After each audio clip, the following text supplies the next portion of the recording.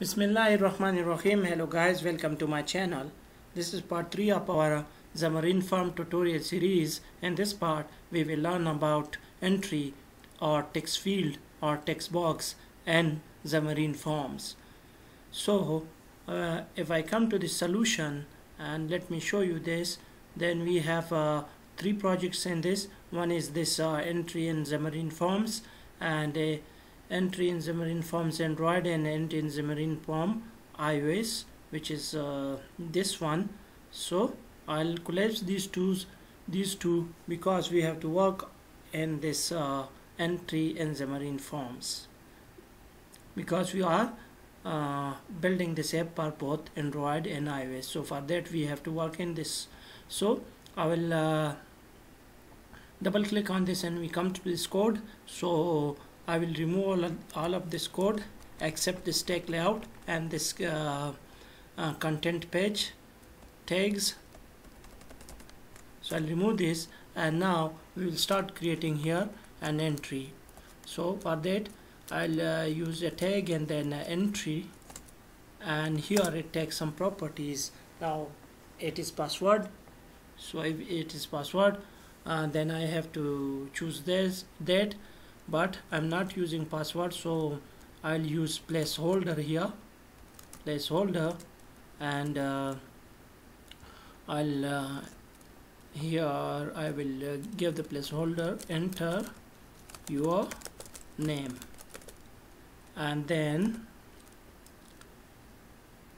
I can use the font size. So I'll use font size as uh, body. And uh, then I can use uh, background color. So I can use background color as a color not chocolate. I can use blue violet. And uh, I can use another property as well. So that will be uh, text color so text color I can use uh, not text but text color. And here I will use uh, brown. This one. And now I'll close the tag. Now if I run this application right now so I have connected my device to this which is a Vivo V2043 so I'll go to this uh, Visual to create its, its projection or mirror its screen here. Now as I have connected my device this one so I'll click on display. Now the device is connected so we have to wait for uh, running of this project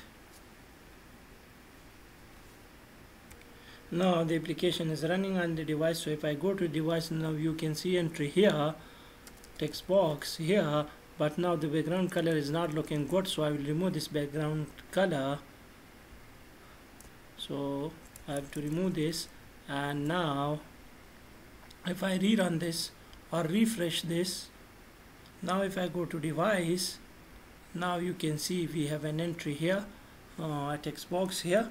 So um, I can enter something into this and you can see we have uh, made the text color as uh, uh, brown. So it is showing brown color text.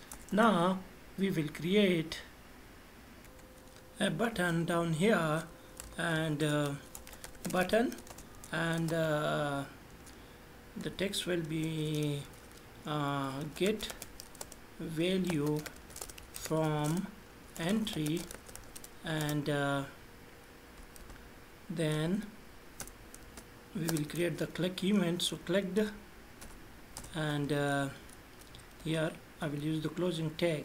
Now we have to go to I will control S this and we have to go to the code. So for that I will right click and uh, I will click on view code. And now we are in code. So here I'll create a method down here. Uh, public void uh, button is clicked and uh, now here I have to use object obj and then comma uh, event args args. And now down here uh, when the button is clicked this uh, method will fire up. Now I'll go to this uh, main page dot a uh, dot XAML file and here I will call this uh, button is clicked method. Now we have to create uh, a label as well. So I'll create a label. Label and uh, here the text uh, I'll use text.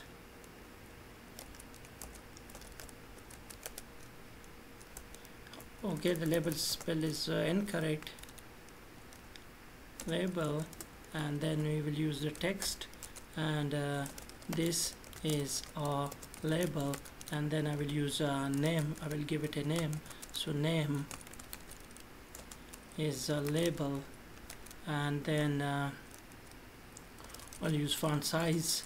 Uh, I will use uh, large and uh, now I'll use also margins. So margin so I'll make this to take 20 from each side. So I'll also give some margin to this entry as well as to the button.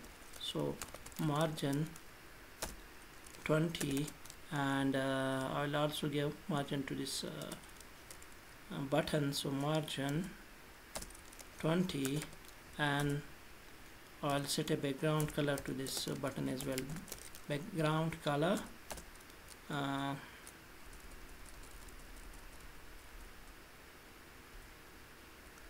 BurlyWood. Okay. Now I'll go to I'll control S this and go to main page dot uh, XAML.cs file control S this as well. And now I can access the label with this name. This one uh, this name equal to label so I can access this label with this label uh, name. So I'll use label dot text is equal to now we have given a name to this uh, entry no we haven't given any name so I'll give it a name uh, name equals and here I will use uh, entry underscore name. And now I'll control S this and I will go to this and here I will use entry underscore name dot text and semicolon. Now if I run this application right now now if I go to device so it is running. Now uh, it appeared. So now if I enter here something uh, my name is uh, and now if I get this now you can see that it is appended to this label. Uh, so that's all for today. I hope you like the video. If you like the video please like subscribe and comment. Thank you